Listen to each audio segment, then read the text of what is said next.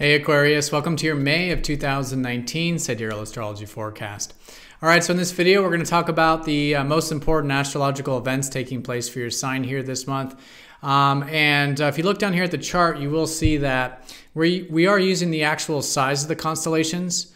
Uh, see how they're different sizes here. So this does change the signs from mainstream astrology um, which use an even uh, 30 degrees for each of these constellations. So um, this does change the signs. And so if you are new uh, to this channel, definitely check out the link down below for more information uh, because um, you do want to make sure you're watching this video for the correct sign. All right, so Aquarius, let's take a look here at the beginning of the month on the 4th and 5th. We do have a new moon in your third house.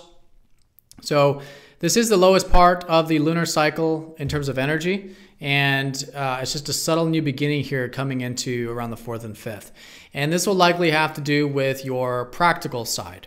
So, new beginnings, some examples might be new beginnings with learning, new beginnings with uh, reading or taking a course, learning something new, especially if it's about practical knowledge.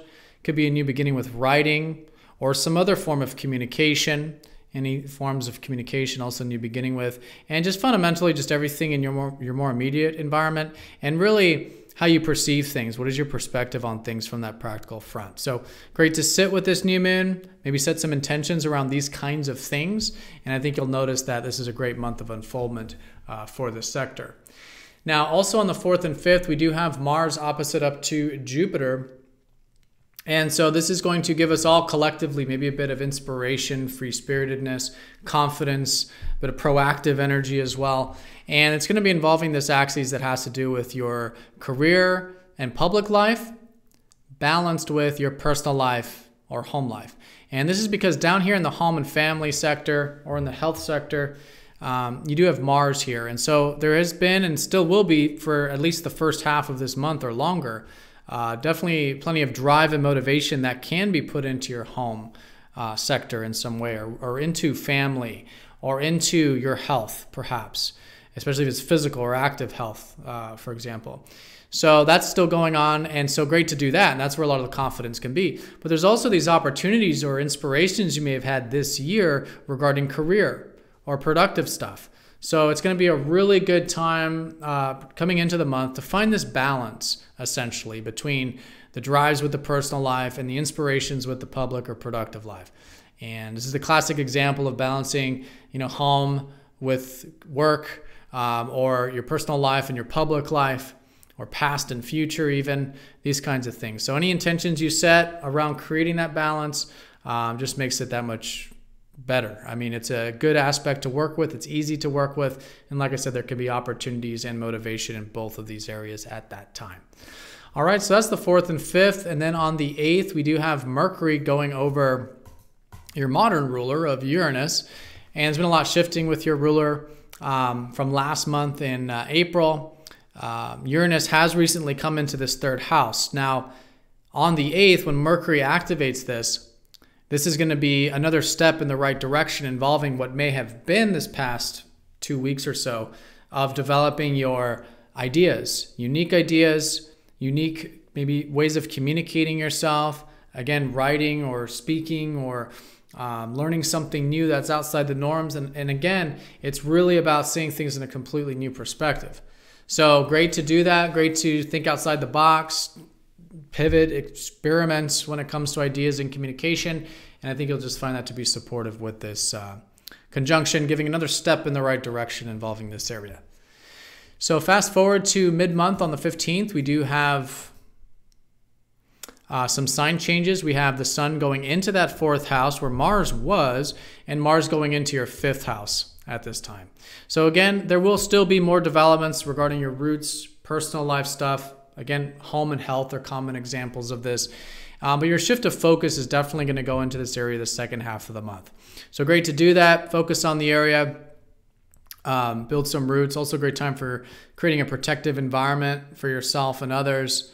A bit of uh, private life, um, caring, nurturing energy as well, and um, and that you'll find that that to be the source of your energy and life force, particularly the second half of the month going into June. Now, with Mars going into your fifth house, your motivation is likely going to start going into your self expression the second half of the month. Some of you might just feel a little bit more motivated to have fun, express yourself, uh, spend time with the people and things that are close to your heart, that you're passionate about. And you could even be quite direct with your self expression the second half of the month. So, good motivation and drive there when it comes to those fiery things. Now, on the 18th, Venus does pass over Uranus, and this is in your third house of again communication. Now, one of the reasons this is significant is that Venus will be the last planet to leave your second house, which was the emphasis last month in April. Because there's a lot of en- energy in April regarding maybe your self value, maybe self reliance, some of you, maybe your income or your resources. And so that's all finalizing this month, but it's happening in steps. And the last planet to leave there will be Venus around the 16th to the 18th uh, to finalize that area for good in terms of the fast movers of the year. Now, Venus going into the third house means that around the 18th, again, you may find, in this sense, new value, new things you enjoy around these practical matters like learning or communication. Right? So, enjoying it, there could even be some maybe relationship energy, something new there in terms of communication, um, exchanging ideas practical stuff there that is again enjoyable both in your personal life and in your interpersonal life and um, some new beginnings and maybe existing sort of uh, relationships or things on that practical level. Now on the 18th there is going to be a full moon and this is going to be in your ninth house and it's the house of travel adventure. Fundamentally it's the, the, house of expanding your horizons. So it could also deal with philosophy or your your sort of perspective of life. So if you think back to about six months ago, there may have been some new beginnings involving this area of expanding your horizons. And so now with the full moon on the 18th, it's going to be on some level a harvest of this, a completion, a culmination in a sense. Now, not everything will be completed, of course, because with the full moon, you're going to gain some insight about it, all right, about the expanding of your horizons. And that's going to help you further develop this area for the remaining six months as you then continue this second half of the solar cycle involving this area. And that's nice too because it's going to help balance out a lot of that more practical stuff that you're involved with, like the communication or whatever. This is more on the expansive front.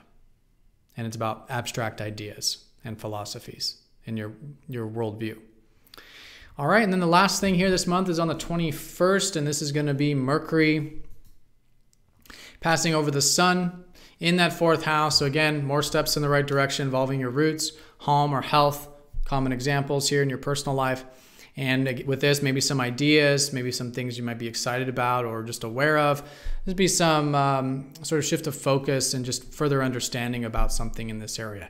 And this is important because next month in June is when you're going to have the actual new beginning here involving your personal life, home or health sector. And so this is just giving you information, giving you a bit of a prelude building a sort of some some foundations here for what will be these new beginnings in that area next month.